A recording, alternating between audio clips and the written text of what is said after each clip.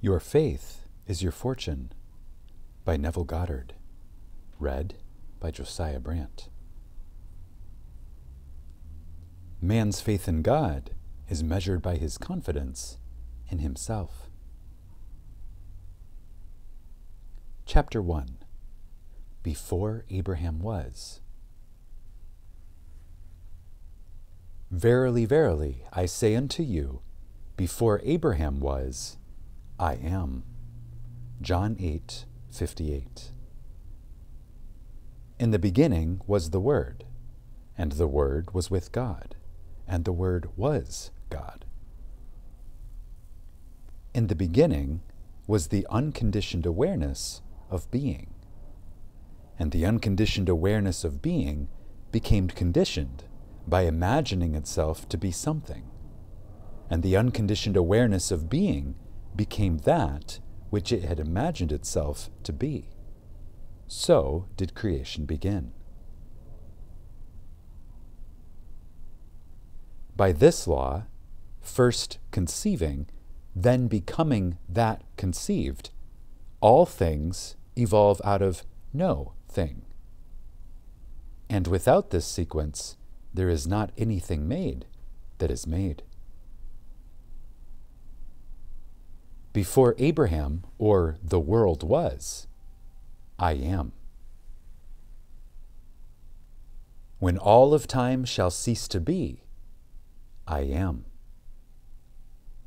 I am the formless awareness of being, conceiving myself to be man.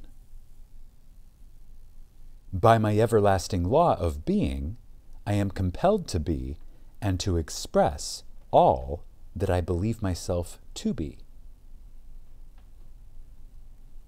I am the eternal nothingness, containing within my formless self the capacity to be all things.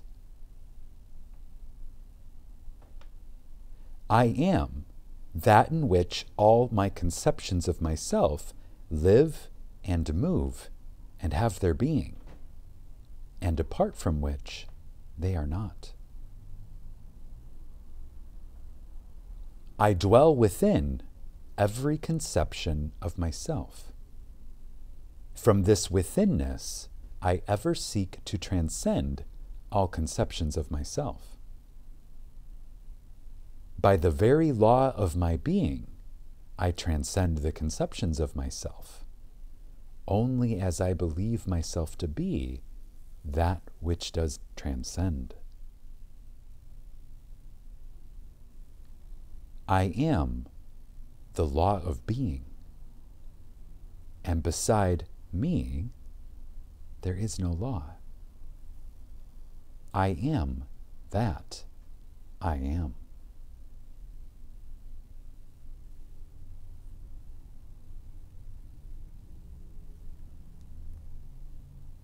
Chapter 2 You shall decree. So shall my word be that goeth forth out of my mouth. It shall not return unto me void, but it shall accomplish that which I please, and it shall prosper in the thing whereunto I sent it. Isaiah 55 11. Man can decree a thing, and it will come to pass. Man has always decreed that which has appeared in his world. He is today decreeing that which is appearing in his world, and he shall continue to do so as long as man is conscious of being man.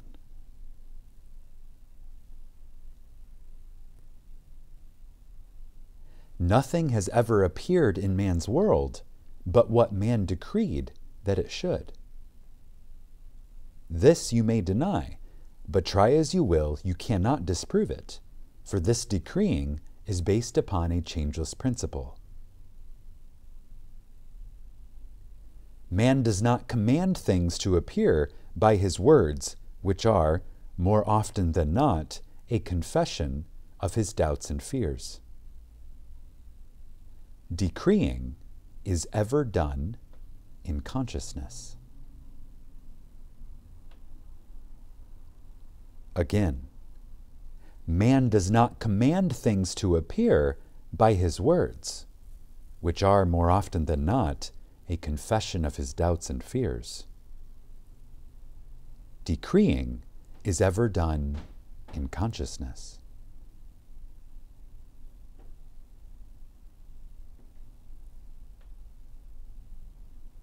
Every man automatically expresses that which he is conscious of being. Without effort or the use of words, at every moment in time, man is commanding himself to be and to possess that which he is conscious of being and possessing. This changeless principle of expression is dramatized in all the Bibles of the world. The writers of our sacred books were illumined mystics, past masters in the art of psychology. In telling the story of the soul, they personified this impersonal principle in the form of a historical document, both to preserve it and to hide it from the eyes of the uninitiated.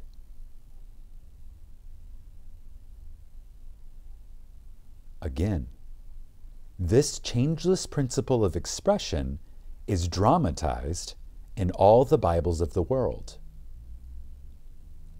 The writers of our sacred books were illumined mystics, past masters in the art of psychology.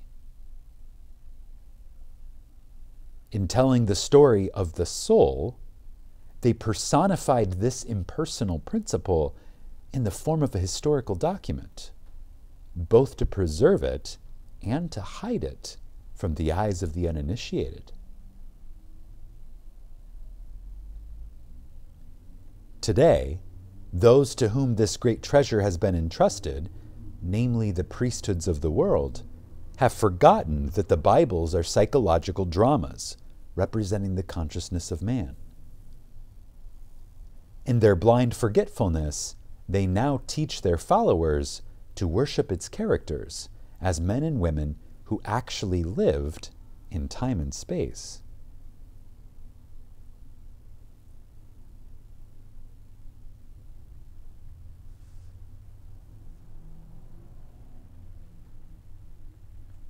When man sees the Bible as a great psychological drama, with all its characters and actors as the personified qualities and attributes of his own consciousness, then, and only then, will the Bible reveal to him the light of its symbology. This impersonal principle of life, which made all things, is personified as God. This Lord God, creator of heaven and earth, is discovered to be man's awareness of being. If man were less bound by orthodoxy and more intuitively observant, he would not fail to notice in the reading of the Bibles that the awareness of being is revealed hundreds of times throughout this literature to name a few. I am hath sent me unto you. Be still and know that I am God. I am the Lord, and there is no God. I am the shepherd. I am the door. I am the resurrection and the life. I am the way. I am the beginning and the end.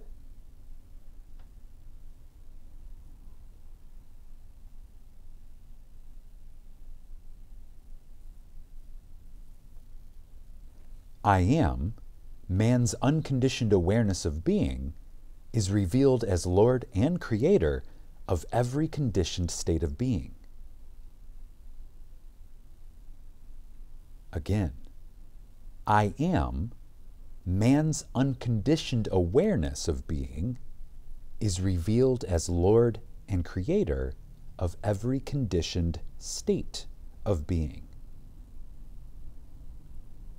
If man would give up his belief in a God apart from himself, recognize his awareness of being to be God, this awareness fashions itself in the likeness and image of its conception of itself he would transform his world from a barren waste to a fertile field of his own liking.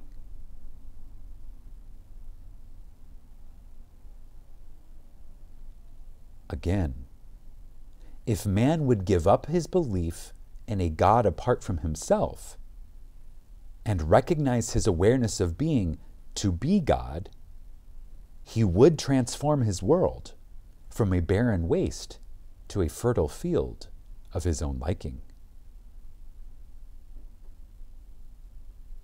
The day man does this, he will know that he and his Father are one. But his Father is greater than he. He will know that his consciousness of being is one with that which he is conscious of being.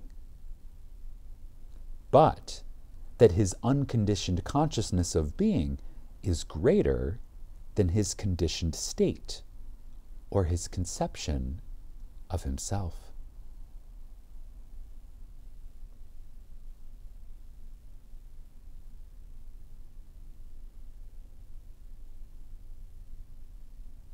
When man discovers his consciousness to be the impersonal power of expression, which power eternally personifies itself in his conceptions of himself, he will assume and appropriate that state of consciousness which he desires to express. In so doing, he will become that state in expression.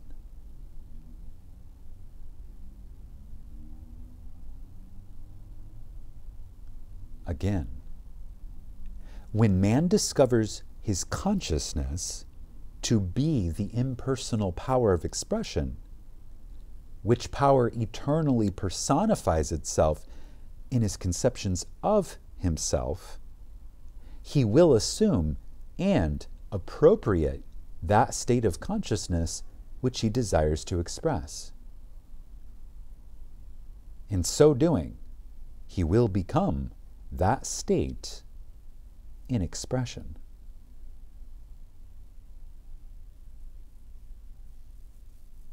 Ye shall decree a thing, and it shall come to pass, can now be told in this manner. You shall become conscious of being or possessing a thing, and you shall express or possess that which you are conscious of being.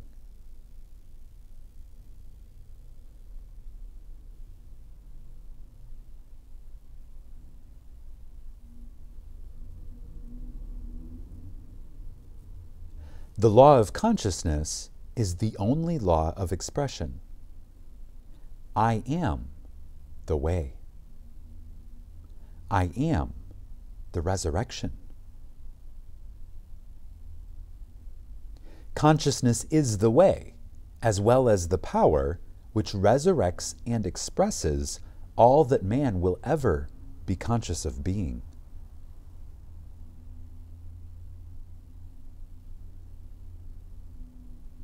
Turn from the blindness of the uninitiated man who attempts to express and possess those qualities and things which he is not conscious of being and possessing.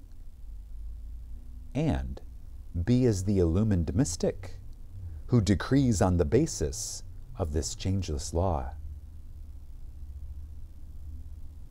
Consciously claim yourself to be that which you seek appropriate the consciousness of that which you see, and you too will know the status of the true mystic. As follows. I became conscious of being it, I am still conscious of being it, and I shall continue to be conscious of being it until that which I am conscious of being is perfectly expressed.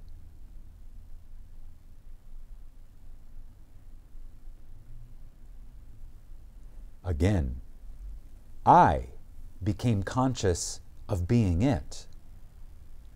I am still conscious of being it. And I shall continue to be conscious of being it until that which I am conscious of being is perfectly expressed. Yes, I shall decree a thing, and it shall come to pass.